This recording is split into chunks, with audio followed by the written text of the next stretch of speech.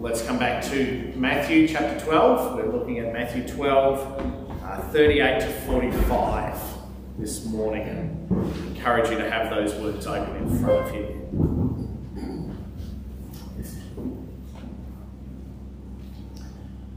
I wonder how you feel when someone asks you what you believe.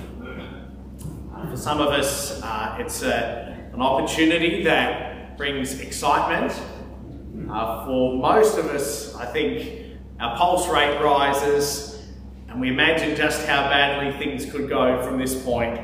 Uh, we want to be correct, we want to get the message right, but we also want to get it across clearly. Uh, when someone asks for proof that Jesus is who he says he is, uh, is that something that excites us? Something that makes us a bit anxious? I wonder if someone asking, well, what is it you Christians really believe? I wonder if you would ever respond the way that Jesus does here in Matthew, where he calls the people who ask a wicked and adulterous generation. It's probably not the way we would tackle this ourselves. But the fact is, Jesus is absolutely right here. Uh, these are not just people asking for curiosity for the first time. Oh, so Jesus, what are you on about? If you were here last week, you'll remember that uh, back in verse 22, Jesus had just healed a man uh, who had been possessed by a demon, uh, who could not see or speak. And it's straight after this that the teachers of the law decide to say, Well, Jesus, couldn't you do a miracle for us? Uh, see, it's not a lack of information that is keeping these people from believing. Uh, that's the case with many of our friends and family, isn't it? Uh, some, true, know nearly nothing about Jesus. Uh, yet many others know plenty and don't believe, even though they know so much. Uh, why? Uh, what is it that stops people who know the facts trusting in Jesus themselves. Well, it comes down to what we value. It's about what we think is most important in life. It's what we treasure. And we saw last time Jesus addresses our treasure in the verses running up to this. That what we love most of all determines the way that we live. And it actually spills out in the things we talk about. So what do our hearts love the most? Like the religious people here, uh, we might value religious knowledge, what we know about God. Uh, we may have made our minds up about what we believe, and yet not be open to what Jesus says about us. Owen read just a moment ago from Luke chapter 16 uh, about a rich man in Jesus' day who knew all about God's word. He had the writings of Moses and the prophets in the Old Testament. And yet the way he treated his neighbour Lazarus showed that his religious knowledge was only covering a rotten heart. Or we might be really interested in religious things, in spiritual experiences, and not be open to what Jesus says about himself. Remember, a, a man my family knew when I was a kid, his name was Jim. He grew up in the church uh, that we were going to at that time. Didn't come very often, maybe at Christmas. He'd catch up with the minister for a cup of tea sometimes, but he was looking into every other sort of spirituality he could find. Uh, he tried every spiritual practice that there was and read all sorts of amazing books. It wasn't until Jim was dying that he admitted to my parents that he always knew what Jesus said was true. Jim just didn't want it to be true. He looked everywhere else to avoid seeing that what Jesus said was real. It would have stopped him living the way he wanted to. And it was only in those last two weeks, I think, that he turned from his spiritual wanderings and trusted Jesus was the only way, the real truth, and real satisfying life, as he says in John 14. So here's the, here's the problem for all of us. What, what we love can stop us loving Jesus most of all. The, the, even the good things that we think make up our life can get in the way of loving Jesus. And we can know all about him, we can be very spiritual, and not love Jesus. So I wonder what God would graciously be showing us today that our hearts value most of all, that, that come out on top in our priorities. And the good things that take over our minds, that rule our hearts, the things that we turn to for value, the things we turn to for comfort, the place we run when things get hard, where we go in our minds or with our lives when things are good. The Bible calls them idols. Things that compete with God for the whole love of our hearts. And God graciously shows us those things as He reveals to us what we truly should love, as He shows us the wonderfulness of the Lord Jesus what we need to do is value Him most of all. We need to trust that belonging to Jesus is more valuable than being approved by our friends or our family. We need to know that trusting Jesus to be the boss of our life is better than having control, wielding power over other people. We need to see that depending on Jesus is greater than any comfort that money or success or anything else is ever going to bring. So the challenge today is to value Jesus as the greatest.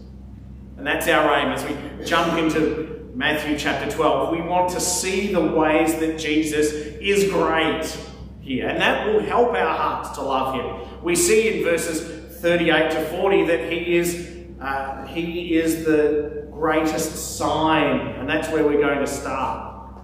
And then we meet him as the greatest judge in verses 41 and 42.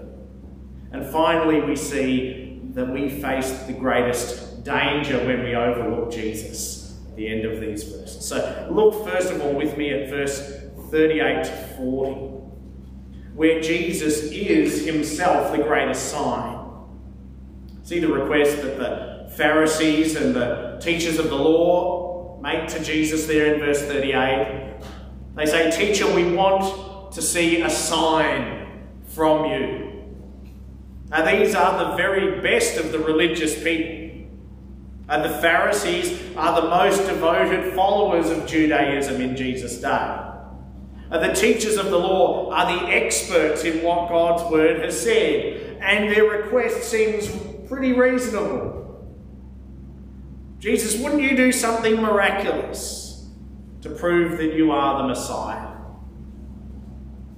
If we look back over this chapter, as we mentioned in the introduction, not only uh, has Jesus healed uh, the blind and, uh, and mute man in verse 22 and driven the demon out of him, uh, back at the start of the chapter in verse 13, he healed a crippled man, and right in the middle in verse 15, he was healing all kinds of illnesses.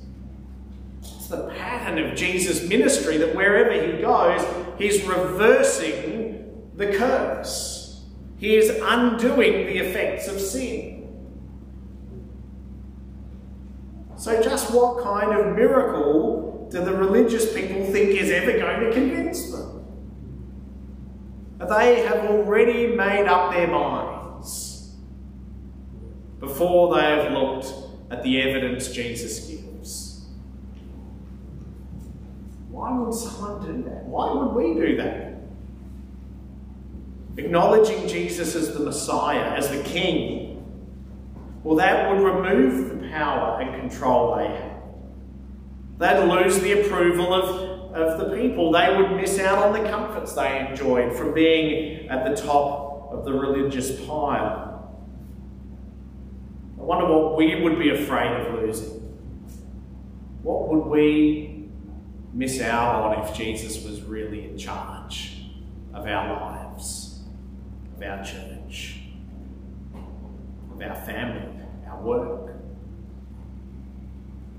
No wonder Jesus calls them a wicked and adulterous generation.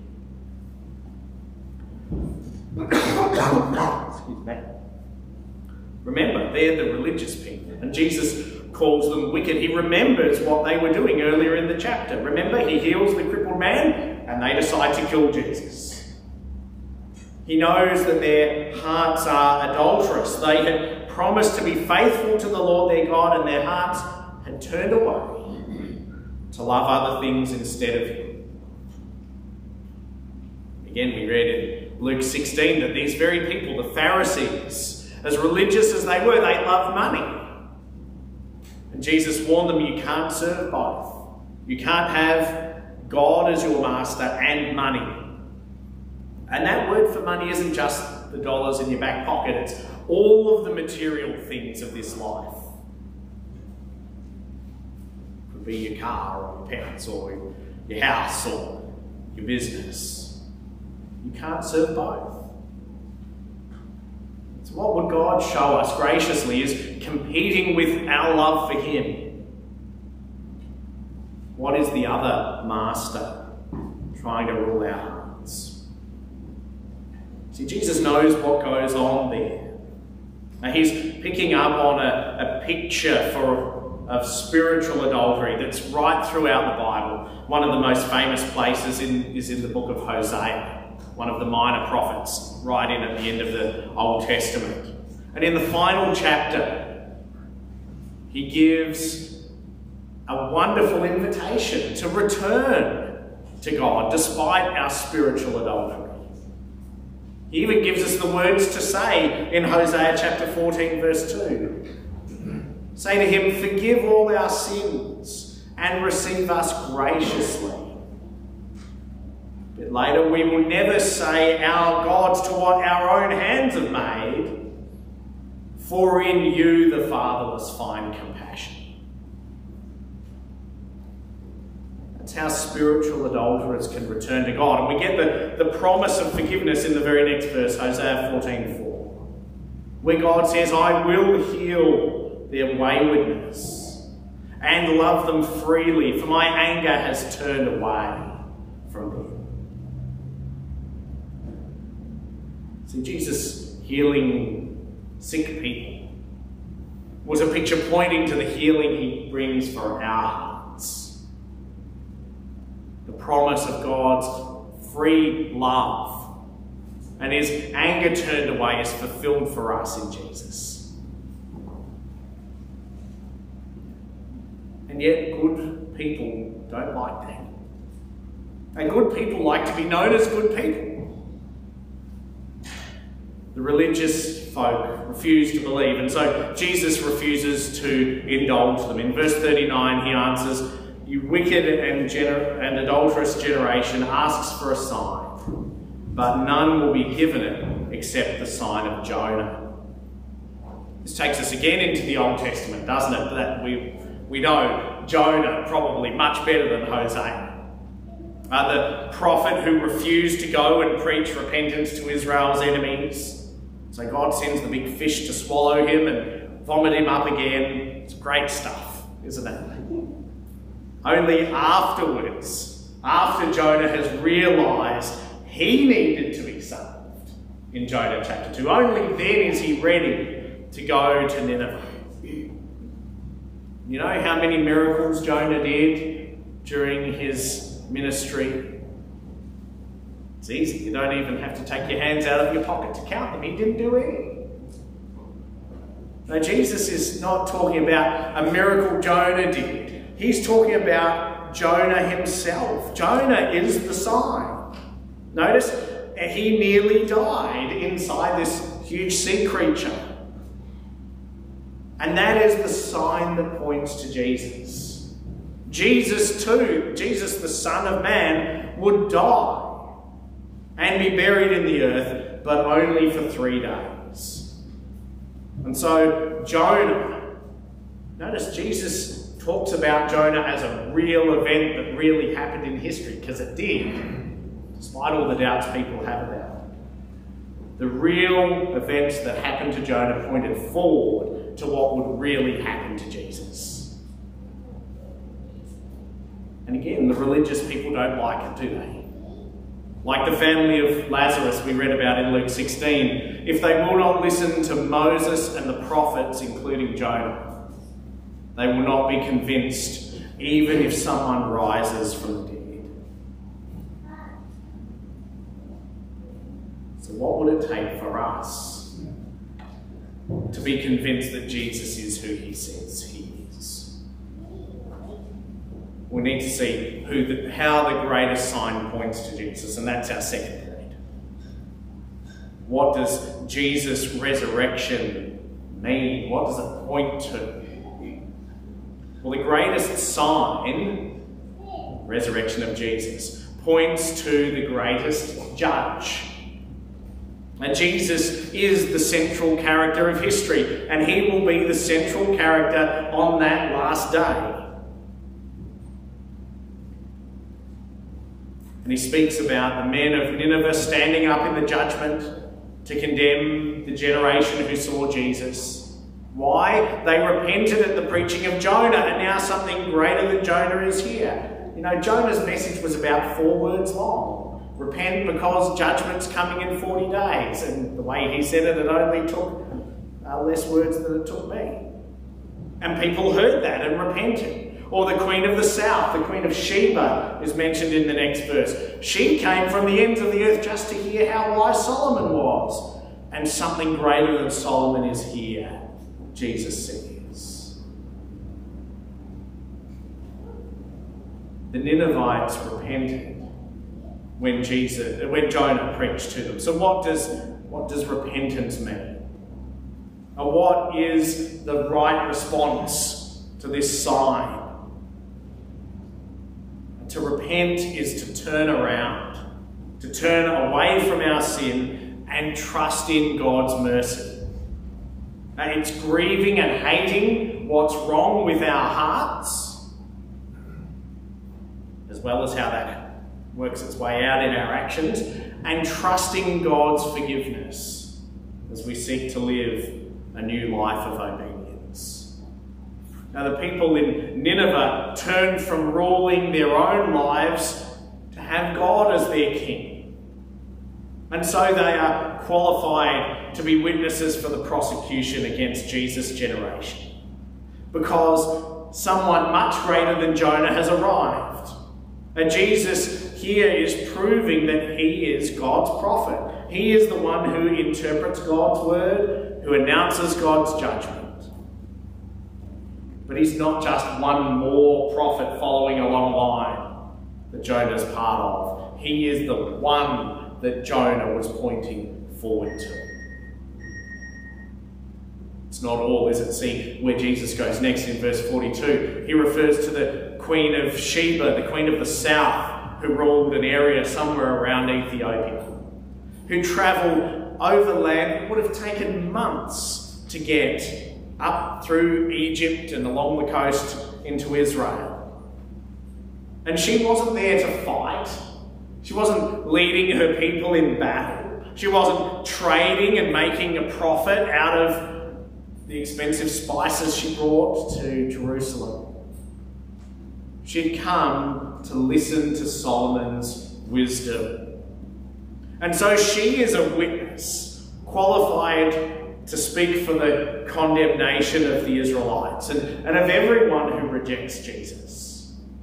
Because again, someone greater than Solomon is here. Jesus is not only the prophet, he is the king who rules and judges wisely. Uh, like Solomon, his wisdom attracts all of the nations to him because he knows how life is supposed to work. Jesus has come to reveal himself as the only way to God, the real truth about God, the real life from God. And so when we put together that Jesus is the prophet and Jesus is the King God had long expected, and then we see the word he uses for himself, back in verse 40 that he is the Son of Man. Going back to Daniel, he is the ultimate human being who is qualified to exist forever in the presence of God. He is the eternal Son who's become one of us. Then we see why his life and his resurrection matters. In Romans 1, we're told that as he rose from the dead, it was a declaration of who Jesus is. That Jesus Christ was declared to be the Son of God in power, according to the Spirit of holiness, by his resurrection from the dead. See, who do you know who has been raised from the dead other than Jesus? Do your genealogy and you find, oh, look, great great great grandfather so and so. No, doesn't happen. Ordinary people can't do that. And so the Son of God, Jesus, has come, who cannot be defeated by death. We heard that, didn't we, in Acts chapter 2, verse 24, that it was not possible for death to keep its hold on him. And that was one of the ways God proved his identity and certified that Jesus is the Saviour who has come. And so the greatest sign points to Jesus, the greatest judge. What difference does that make for us? That's how we're going to wrap up this morning. The greatest uh, Jesus' resurrection is the greatest sign. And it points to Jesus as the greatest prophet and king and judge. Greatest sign points to Jesus, who warns us of the greatest danger. See, to reject Jesus is really, really dangerous. He unpacks this uh, this story of what happens when an evil spirit is driven out. And I'll just read it through for us. That when an impure spirit comes out of a person, it goes through arid places seeking rest and doesn't find it. It says, I'll return to the house I left. And when it arrives, it finds the house unoccupied. That's the key thing unoccupied, swept clean, and put in order. And then it goes and takes with it seven other spirits more wicked than itself. And they go in and live there. And the final condition of that person is worse than first. This is how it will be with this wicked generation. We've seen Jesus deal with the very real problem of spiritual uh, spiritual problem of demon possession. We saw last week that he is the stronger man who can plunder Satan's house, back in verses 28 and 29. And yet Jesus goes straight from there to say, You can't be on the fence with me. You cannot be neutral towards Jesus. If he has come with the power of God's Spirit to drive out demons, you can't say, oh, I don't know what to do about this Jesus guy. In verse 30, he says, Whoever is not with me is against me, and whoever does not gather with me scatters. If we decide not to do anything with Jesus, we're choosing not to be on his side. He warns us well, we can clean up our lives, we can turn over a new leaf, we can try harder we can be really good, like the Pharisees were.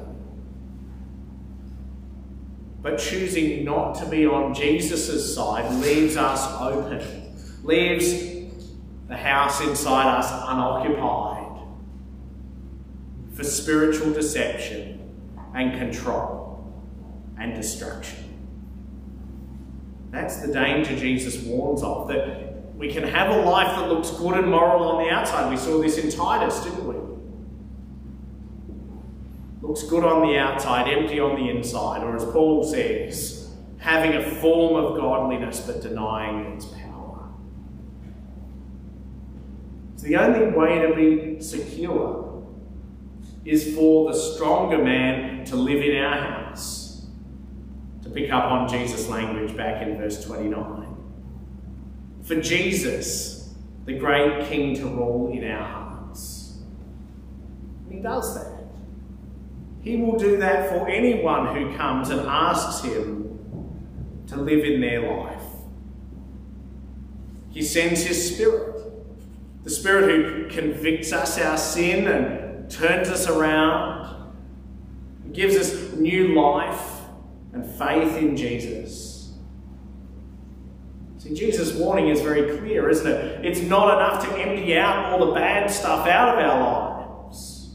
Escaping out the, the bad influences still leaves our hearts wide open to the danger. A half hearted reform of trying harder will never be enough. The new, better master must come and live in our hearts. And that's what Jesus promises to do. Following him is not just receiving forgiveness, it's so much more than that, too. It is recognizing him as the greatest Lord, it's valuing him as our greatest love, as the one we want to follow, as the one we treasure more than anything else. And that's where spiritual safety comes from. From having a new heart that Jesus gives that turns back to Him again and again. In Ephesians, it's called being filled with the Spirit. In Galatians, it's keeping in step with the Spirit. And in Colossians, we're told just what that looks like and where it comes from. Let me read a few verses from Colossians 1, where again we see God's word showing us how to pray. So, from the day we heard about the faith of the Colossians, from the day we heard, we have not ceased to pray for you, asking that you may be filled with the knowledge of His will, in all spiritual wisdom and understanding, so as to walk in a manner worthy of the Lord. That's a way of life, isn't it? The way that we walk. Fully pleasing to Him, bearing fruit in every good work, increasing in the knowledge of the Lord May you be strengthened with all power according to his glorious might for all endurance and patience with joy, giving thanks to the Father who has qualified you to share in the inheritance of the saints in light. And here's where it comes from. He has delivered us from the domain of darkness. He rescues us from Satan's kingdom. He has delivered us from the domain of darkness and transferred us to the kingdom of his beloved Son, in whom we have redemption, the forgiveness of sins. See, that's the life Jesus promises to us. That's the life Jesus offers to you and me because his resurrection shows it that he is the great King. He is the wise Lord who can come and reign in our hearts when we treasure him more than anything else. So remember. Remember the examples of the people of Nineveh. Remember the Queen of Sheba. They repented. They turned to hear God's word and to trust Him. But notice something else about them. They were outsiders, all, all of them. And yet the message of salvation came to them as it comes to us today that we are never too far away from Jesus. Let me just sum up as we conclude. Whatever big questions and doubts we have about Jesus, he deals with them all in his greatest in his resurrection from the dead. It shows that he is the Son of Man, the one who came in our place to rescue us and one day sit as judge. And so he warns us of the greatest danger, but he promises us the greatest salvation. He promises that where our hearts are under the control of something else, something bad, something good, he will come in and be the king there. He will come and be our greatest treasure when we ask him to come and give that resurrection life to us. And like we saw last week, being the strongest man, when he has taken up residence in our hearts, no one can drive him away. Nothing can take him off the throne when he lives and reigns in us. Well, let me pray that this would be the reality in all of our hearts, more and more Let's pray together.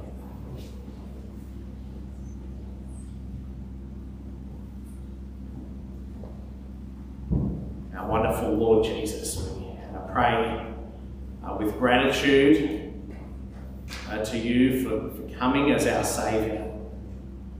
Uh, we can see, if we reflect on our lives, the way that we value and treasure other things, uh, that we can tend to justify ourselves, uh, that we can look for ways to show that we are good people, religious people, moral people, spiritual people, and that we can rely on that rather than on your grace, rather than on the gift that you give us. Free forgiveness and new life you grant us in, in the Lord, uh, in your own death on the cross. We thank you that you warn us of the danger of having a clean up in our lives and yet leaving the throne of our hearts unoccupied. Our God, we pray that the Lord Jesus would live and reign in us, that we would grow in knowledge of Him, uh, that we would be filled with spiritual wisdom and understanding so that the way we walk, the way we live would be worthy of you, not earning your salvation, but responding to it, bearing fruit, showing that Jesus lives in our hearts.